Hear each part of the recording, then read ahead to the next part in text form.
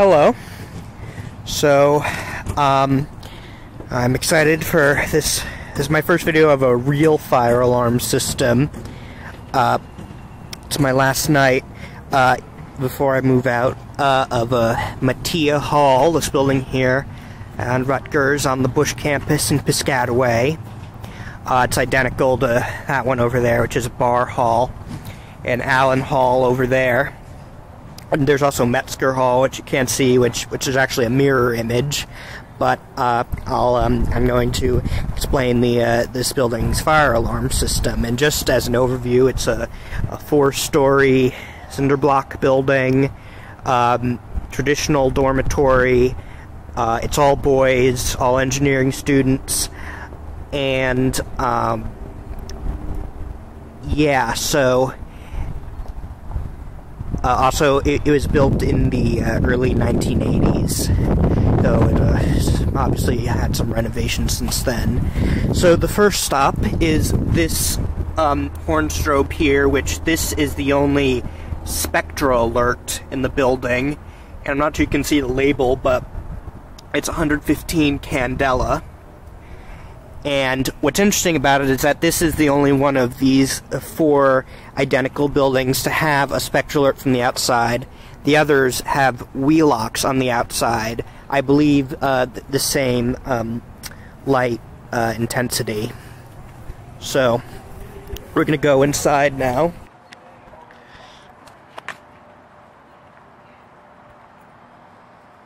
Just going to swipe my access card. Please excuse the sideways motion.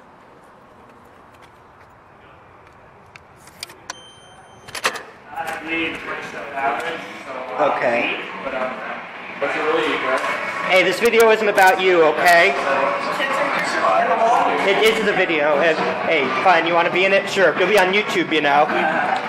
Okay, so um, here we have the control panel the main control panel, you can see my reflection high. It is a Simplex 4020, so it's obviously addressable, and of course everything is normal, however, the clock is not, it is not on daylight savings time. So as you can see, you have all your buttons and um, yeah, we got a priority 2. I don't quite understand what that does. But in addition to the main panel, there's a TrueAlert addressable controller. And if you use light, you can even shine it through the little openings and see some of the circuitry inside, which I'll um, do the best I can. The motherboard. You can see the, the NAC terminals for notification appliances. Oops. Uh, I hate it when my phone's flashlight does that. Uh, please excuse the TV in the background, by the way. Um, I understand it may be a bit distracting. So yeah, you can see a, a, bunch of things.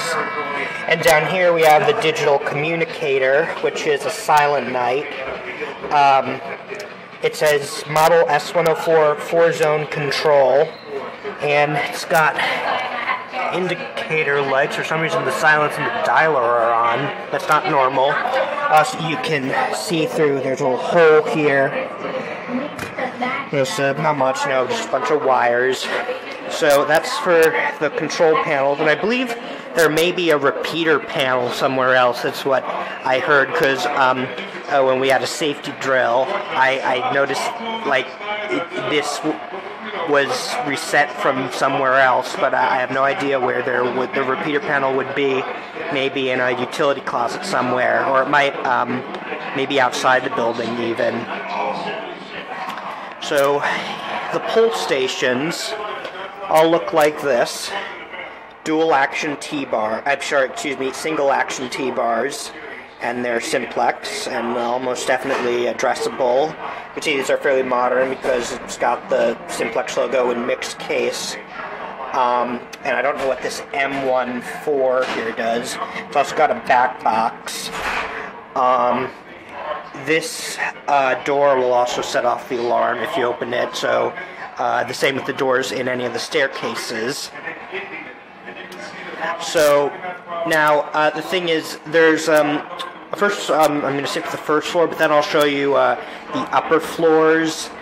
Uh, now, there's not really much variety on the upper floors, but uh, what I thought would be interesting is if you see all the horns. Well, actually, this is just a strobe, but it, it says SLC 17, and so apparently the entire first floor is signaling line circuit 1, and 2 is for the upper floors. Here's a horn strobe. This is 111.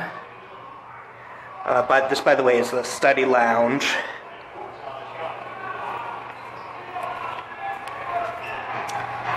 Here we have a smoke detector and a sprinkler. Um, yeah, thankfully that has not gone off at any time. Also, there's the uh, the pull station that they use for safety drills and another horn strobe above it. Let's see what this one is. This is 110.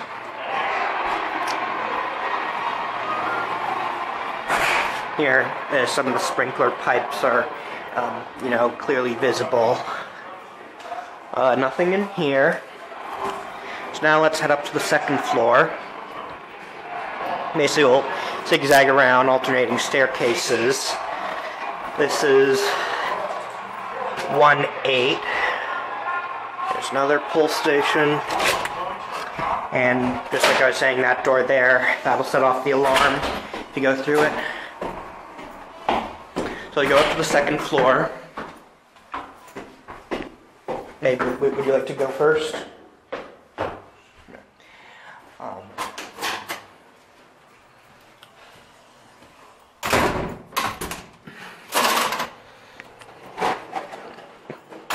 So yeah, so basically the upper floors there are two pull stations per floor, obviously one for each staircase, and the the first floor has one by the exit doors as well, so there are four on the first floor.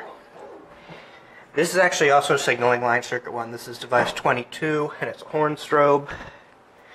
So yeah, sprinklers are every few feet. There are also sprinklers in each room itself, and uh, as well as smoke detectors. This strobe is 123.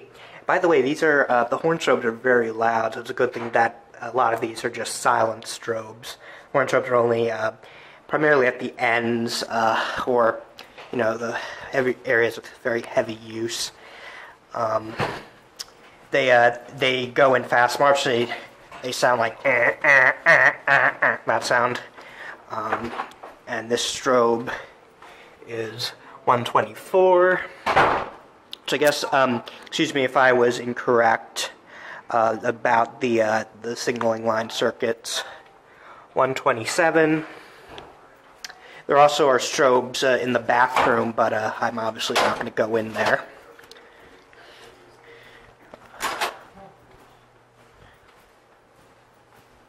Also our extinguishers. This is 121. Uh, I'm to um, uh, cut the video now just, uh, you know, because uh, I don't want to have a really long one. So I'm just to pick off from